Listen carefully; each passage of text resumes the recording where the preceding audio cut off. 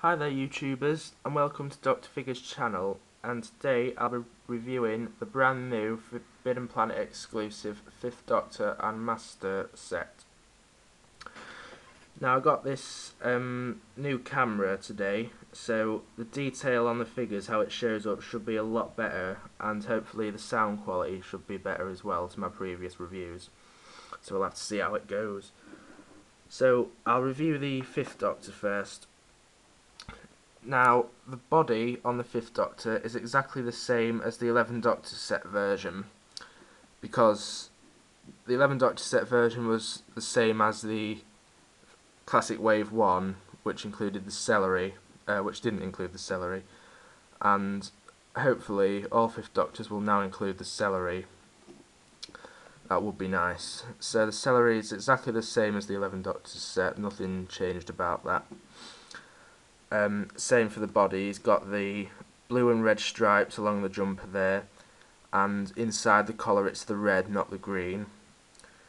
Um, his cream jumper and cream jacket are really nice, he's got the red stripes running along the pockets and down the back and sides.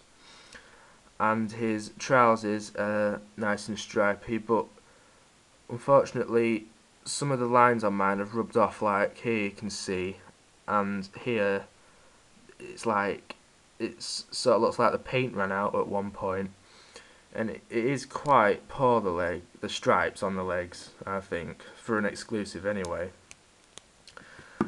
Um, the the head I think it's slightly different sculpt but it, it's not meant to show up different though. And because the hair is now a separate piece because the hat needs to be secured on so the hair has had to be made a separate piece which actually looks better I think and is now looking to the left or right whichever way you're standing so I think the facial expression is very very slightly different uh, and the hat is cream as well with the red band around it, but it would be nice to see them white polka dots on there, but unfortunately they haven't been put on. Uh, so I'll go through the articulation of the figure now. So the head moves side to side fairly easily, but it does do 360, but I won't try it because you get all the paint marks scratched around the neck. The arms do 360s at the shoulders and at the biceps. They move up and down at the elbow and do 360 at the wrists. And his waist does a 360 degree turn. Um, so do his legs at the biceps. He can do the splits a little bit and he can sit down a bit. And his legs bend at the knees. And this hand here is sculpted so he can hold his sonic screwdriver and it's quite a tight grip, unlike my other Fifth Doctors, where the sonic screwdriver just falls straight down the middle of the hand. And the screwdriver is the same as the 11 Doctors set, with the white dots in the middle of it. So that's the Fifth Doctor, which I'd give a 9 out of 10, uh, because there's nothing much wrong with it apart from the trousers, which are a little bit poorly painted in my opinion. Now we'll go on to the master figure. Now the likeness to the actor is absolutely brilliant. I think they've captured his facial expression really well and it just looks like him really and the hair's nicely done.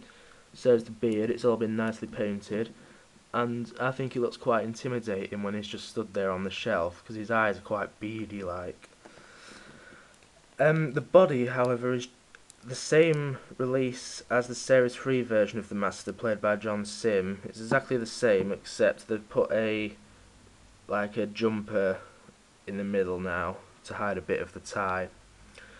Uh, which is which is good because they could have just left it completely as the John Simm version, but they haven't. There's a, few other minor details that are different, like the pocket is now gone because the John Simm version had two pockets and this version now has the black shiny tissue in his pocket there so there are one or two differences on the body uh, but apart from that the hands and feet and legs are exactly the same uh, but the rings have been painted silver now So that that's another little minor change. But apart from the body, really, the head really does hire the marks, in my opinion, because it looks so much like him. And I would give the Master a 9 out of 10 also, because the face looks just like the actor, but they could have changed the body a little bit more, I'm sure they could have, really, for an exclusive. Oh. That is the Fifth Doctor and Master um, Forbidden Planet exclusive. So I hope you enjoyed this review and thank you for watching and keep checking back my channel for more collection updates and figure reviews. So thank you.